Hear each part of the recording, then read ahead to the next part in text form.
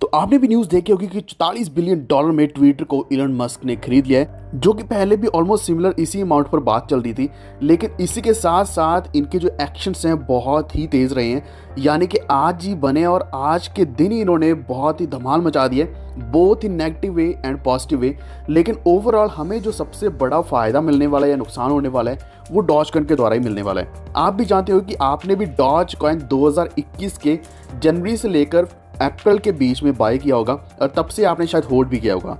हर कोई यही वेट कर रहा है कि डॉज कॉइन अगर सच में एक डॉलर पहुँच जाता है तो हम सभी का एटलीस्ट जितना पैसा लगाया हुआ था, वो रिकवर हो जाएगा, और थोड़ा बहुत शायद प्रॉफिट भी बन जाएगा। तो क्या ये सच्चाई होने वाली है? नहीं, यानी कि क्या डॉज कॉइन सच में परफॉर्म करेगा या नहीं? ये हम डिस्कस करेंगे। और क्या क्या चेंजेस आने वाली हैं? क्योंकि फॉर एग्जांपल अगर आप देखोगे कि यहाँ जितने भी इंडियन लोग थे ट्विटर में उन सभी को फायर कर दिया गया तो आगे चल के क्या होगा? क्या ऐसा ही सेम सभी कंपनीज़ में होने वाला है? वो हम डिस्कस करेंगे इस वीडियो में। बहुत ज़्यादा इंपॉर्टेंट होगा आप सभी के लिए। अगर आप भी क्रिप्टो करेंसीज में इन्वेस्ट करते हैं और प्रॉफिट भी कमाना चाहते हैं वीडियो को अभी से लाइक कर दो, चैनल पर पहली बार आए तो वॉफ्ट को सब्सक्राइब करके बेल के दबा लीजिए। बाकी अपडेट्स आपको हमारे टेलीग्राम के ऊपर मिलती रहेंगी। वॉफ्ट ऑफिशियल के ऊपर जाके आप हमारी टेलीग्राम की अपडेट्स चेक कर सकते हैं। साथ के साथ आपको सारी अपडेट्स मिलती रहेंगी। और इसी के साथ अगर आपको कॉल्स एंड सिग्नल्स चाहिए तो आप हमारे टेलीग्राम के प्रीमियम को ज्वाइन कर सकते हैं सिर्फ़ चालीस डॉलर में, जिसमें आपको हज़ारों परसेंटेज का प्रॉफिट कुछ ही दिनों के अंदर बहुत ही आसानी से मिल जाएगा। तो बिना टाइम वेस्ट करते हुए आइए चलते हैं इलन मस्क की तरफ़। तो 44 बिलियन डॉलर की एक्विजिशन हुई है ट्विटर की। तो पहले क्या था कि जैक डॉर्सी के द्वारा हमें कुछ ना कुछ अपडेट्स मिलती थी। अगर वो मिलकर इलोन मस्क के साथ या किसी तरीके की कोई भी अपडेट देते थे, मार्केट में अच्छी रिकवरी आ जाती थी।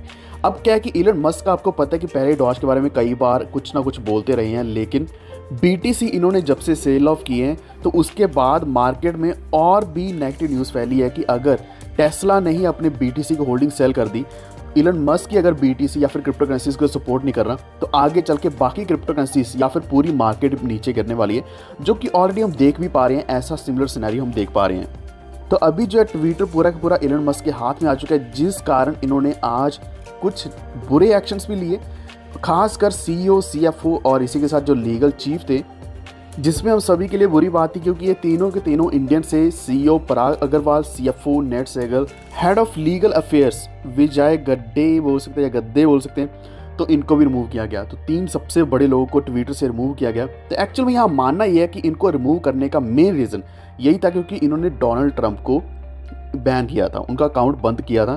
तो क्या अभी डोनाल्ड ट्रंप का अकाउंट वापस खुल जाएगा? अगर खुलता है तो उसके बाद पूरी पॉलिटिकल चेंजेस भी आने वाली है। पूरे वर्ल्ड में बहुत कुछ चेंज होने वाला है और वो कुछ भी बोलने वाले हैं। यानी कि ऐसा भी हो सकता है वो कुछ भी रिवील भी कर दें और ऐसा भी हो सकता है वो क्रिप्टो करेंसीज को एक्सेप्ट भी करें। मे बी इलन मस्क का और डोनाल्ड दोनों का प्लान हुआ ऐसा कि वो क्रिप्टो करेंसीज को एक्सेप्ट करें और इसकी जो यूजेज है और भी ज़्यादा बढ़ाएँ पूरे वर्ल्ड में। तो डॉज की बात करने से पहले थोड़ा सा और डिस्कस कर लेते हैं ट्विटर के बारे में। क्योंकि यहाँ क्या कि ऐसा भी माना जा रहा है कि पराग अग्रवाल ने खुद भी रिज़ाइन किया था C as a C of Twitter लेकिन ऐसा भी माना जा रहा है कि इलन मस्क ने फायर किया है पराग को। अब ऐसे ही सिमिलर सीएफओ का भी कुछ कहना है कि जो नेट सेगल है, उनको भी रिज़ाइन करवाया गया या फिर उनको रिमूव कर दिया गया। अब मेन चेंजेस क्या क्या आने वाली हैं? एक तो ये कि जो ट्विटर के फॉलोअर काउंट था, वो बार बार ड्रॉप हो रहा था, बहुत बड़े अकाउंट्स का भी। इसी के साथ शेडो बैनिंग करी जा रही थी गोस्ट बैनिंग करी जा रही थी और ऐसा हमारे साथ भी हुआ है। इवन वॉल्फ का जो ऑफिशियल अकाउंट है, यहाँ पे भी कई बार ऐसा किया गया था। और कई लोगों के जो बड़े बड़े अकाउंट हैं, उनके जो ट्विटर के फॉलोअर्स थे, वो लगातार नीचे गिरते जा रहे थे। तो इसके पीछे भी कोई रीज़न सामने नहीं आ रहा था कि ऐसा क्यों किया जा रहा है। तो ये तीन चीज़ें shadow banning ghost banning search banning Twitter के फॉलोअर्स को रिमूव करना, ये सब कुछ धीरे धीरे अभी बंद कर दिया जाएगा। और सबसे बड़ी चीज़ जो सेंसरशिप थी यानी कि सेंसरशिप को पहले बहुत ही ज़्यादा एक्टिवली यूज़ किया जा रहा था, यानी कि कुछ कम ही लिमिटेड चीज़ों को सामने लाया जा रहा था और बाकी चीज़ों को बैन किया जा रहा था। और अभी क्या है कि हर कोई खुल के बात कर पाएगा और यही इनका मेन मकसद है इलन मस्क का। दूसरा इनका ये भी रहा है कि जितने भी बॉड काउंट्स हैं, उनको भी बंद किया जाएगा। अब हम इतनी ज़्यादा ट्विटर के बारे में डिस्कशन क्यों कर रहे हैं? क्योंकि ट्विटर का बहुत बड़ा योगदान रहा है हमेशा क्रिप्टो करेंसीज में। खासकर अगर हम बड़े प्रोजेक्ट्स को देखें तो वो हम हमेशा चेक करते हैं कि उनका ट्विटर हैंडल कैसे है, वहाँ रियल फॉलोअर्स हैं। क्योंकि रियल तो हमें नहीं पता चलता है लेकिन हम नंबर ज़रूर देखते हैं कि फॉलोअर्स कितने हैं और उनकी एंगेजमेंट क्या आ रही है। जिस कारण अभी इलन मस्क ने ऐसा ट्वीट किया था कि द बर्ड इज़ फ्रीड यानी कि ट्विटर को फ्री कर दिया है। तो इसी के साथ जो ट्विटर के शेयर हैं शेयर प्राइस है, इसमें भी थोड़ा इंक्रीज़ हमें देखने को मिला है। एंड मोस्ट प्रॉब्ली अभी डोनाल्ड ट्रंप भी खुल के बात कर पाएँगे, और भी कई सारे ऐसे अकाउंट्स हैं जिनको बैन किया गया होगा तो वो अभी खुल के बात करेंगे। लेकिन हमारा जो मेन फ़ायदा होने वाला है, वो होने वाला है डॉज गन के द्वारा। जो बहुत लंबे समय से वेट कर रहे थे कि डॉज गन का कुछ ना कुछ बड़ा अपडेट आए, अभी आप देख सकते हैं पिछले सात दिन के अंदर, यानी कि एक हफ़्ते के अंदर लगभग चौतालीस पैंतालीस परसेंट का इंक्रीज़ आया है। हालाँकि अभी इसकी value zero point zero eight dollar के आसपास चल रही है, लेकिन मैं एक्सपेक्ट कर रहा हूँ कि एटलीस्ट ये ज़ीरो पॉइंट टू डॉलर यानी कि बीस सेंट तक बहुत ही जल्द पहुँचेगी।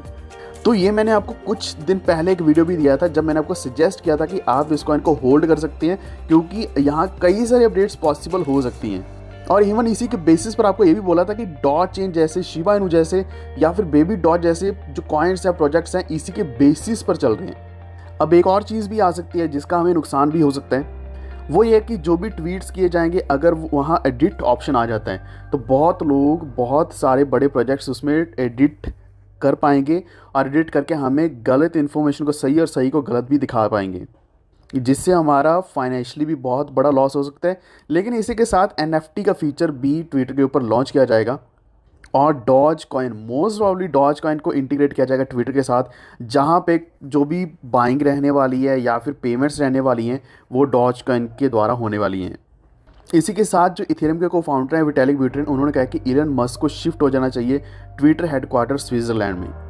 और ये शायद हो भी सकता है, लेकिन एक बड़ी चीज़ ये है कि जो एलन मस्क हैं, उनके पास जो इतनी बड़ी कंपनी है स्टार लिंक है इसके साथ टेस्ला है, उन कंपनीज़ को भी इन्होंने हैंडल करना है। तो अगर शिफ्ट होते भी है या फिर इनिशियली अगर ट्विटर को हैंडल करते हैं तो डॉज गन के साथ साथ हमें बिटकॉइन भी एक्सेप्ट होता हुआ दिख सकता है।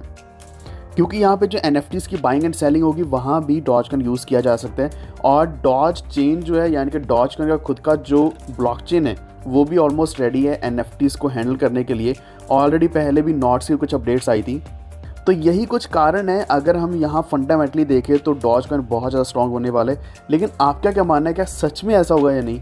या फिर डॉज गन फिर वैसे के वैसे रह जाएगा, जो हम एक डेढ़ साल से देखते आ रहे हैं? क्योंकि अभी लगभग दो साल होने जा रहे हैं जब डॉज कॉइन सिर्फ़ एक बार परफॉर्म किया था, उसके बाद इसने अच्छा परफॉर्म नहीं किया है। तो यही थी कुछ अपडेट्स वैसे मैं एक लिस्ट डालने वाला हूँ हमारे टेलीग्राम की जिससे आप अच्छा प्रॉफिट अर्न कर पाओगे तो वॉफिट ऑफिशियल को अभी से ज्वाइन कर लो।